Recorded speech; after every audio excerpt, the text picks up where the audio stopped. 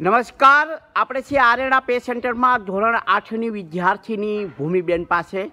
ભૂમિબેન પાસે ઘણું બધું નોલેજ છે. કન્યા કેળવણીને પ્રાધાન્ય આપે અને બેટી વિષય પર ખૂબ જ ઉત્તમ બોલે છે. તો ભૂમિબેનને નમ્ર નિવેદન કરું, અનુરોધ કરું કે બેટી વિશેનું ઉદ્બોધન આપે. ભૂમિબેન. બેટી બનકર આઈ હું.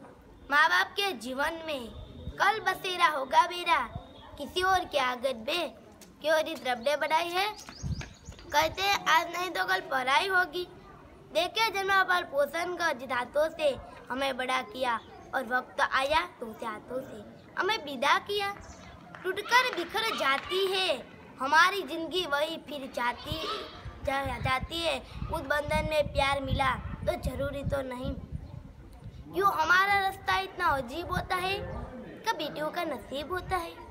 बेटी नहीं बसाओगे બહુ કેસે લાવુંગે દીકરી નહીં સાપનો ભારો કે નહીં મા બાપને બોધ દીકરી તો સાચાત લક્ષ્મીનો અવતાર છે આ જગતમાં આપણે દીકરી કેટ કેટલા રૂપિયે મદદ બની છે એક દીકરી બની પોતાના મા બાપની સંભાળ લે છે અને પોતાના કુલનું નામ વધારે છે એક બહેન બની પોતાના ભાઈના જમણા હાથે રાખડી બાંધે છે પોતાના ભાઈનું સુખનું જતન કરે છે એક એક પત્ની બની, એક પતિની સુખ દુઃખની સાથી બને છે. અને દુઃખમાં પણ તેમના સાસરિયાને તેમનું મંદિર સમજી તેમના પતિની સેવા કરે છે. સૌથી મહત્વનું રૂપ તો માં. માં બની આપણને મોટા કરવાની જવાબદારી નિભાવે છે.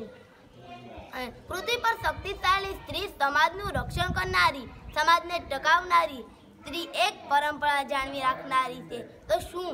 એ સ્ત્રીને મારી નાખવી